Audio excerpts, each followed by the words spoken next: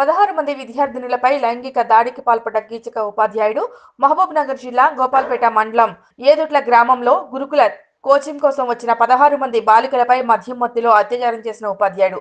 విషయం తెలుసుకున్న విద్యార్థుల తల్లిదండ్రులు కీచక ఉపాధ్యాయుడికి గ్రామస్తుల సమక్షంలో దేహశుద్ధి చేశారు. అనంతరం పోలీసులకి అప్పగించారు.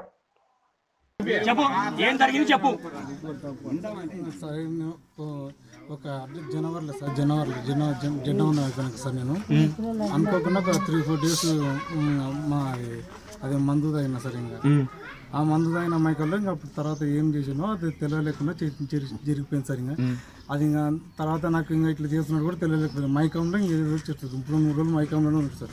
ఆ మందు తాగిన మైకల్లో ఉన్నాయి ఇంకా దానివల్ల అట్లా జరిగిపోయింది సార్. ఇట్లా నేను తర్వాత కూడా నాకు ఇంకా అట్లా జరిగిపోయింది. తర్వాత కూడా తెలిసింది సార్. నేను అంటే మూడు రోజులు మూడు రోజులు ఇంకా మందులు లేని అట్లా ఇట్లే ఉన్నా సార్ ఇంకా దానివల్ల ఆ విధంగా జరిగిపోవడం జరిగింది సార్ ఇంకా తర్వాత నుంచి మళ్ళీ ఎవరి దగ్గరికి ఇంకా పోలేదు సార్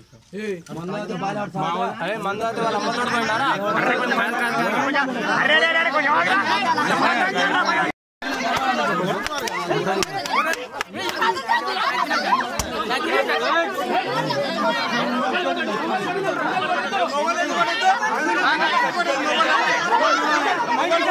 ఓ రాజా నన్ను జరగని అడ్డం